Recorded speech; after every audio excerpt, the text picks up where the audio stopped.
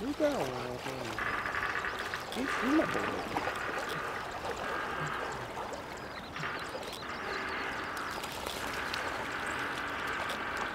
Thank you.